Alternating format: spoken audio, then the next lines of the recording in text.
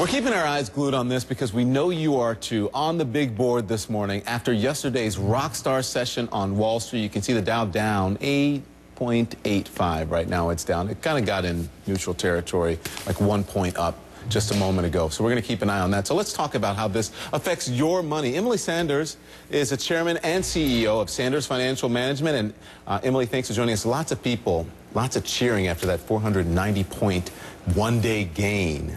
Everyone's asking, can it last?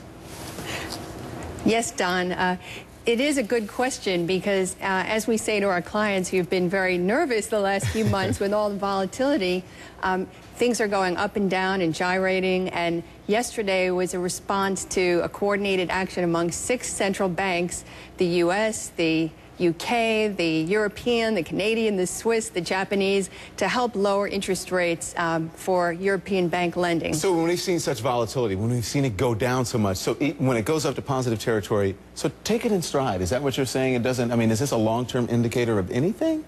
Probably not. Okay. It's uh, an indicator to an action that happened yesterday, and the long-term trend is still very nervous. There's a lot of uncertainty in Europe, and um, you know, yeah. China lowered interest rates yesterday. So we're telling our clients to stay cautious. Even with the experts like you, you're, you're just saying, okay, keep it all in stride. Just keep it all in, in perspective here.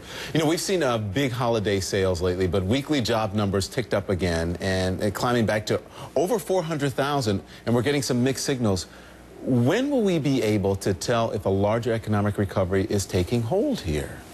Well, regarding the job numbers, Don, tomorrow is an indicator, uh, non-farm payrolls, that is released by the U.S. government, and that'll show not only unemployment claims, but also job formations. And yes, the 400,000 indicator is a benchmark, and we just went a little over that today in new unemployment claims. But basically, the unemployment rate is holding steady at around 9%, and we expect it to continue in that path. Okay.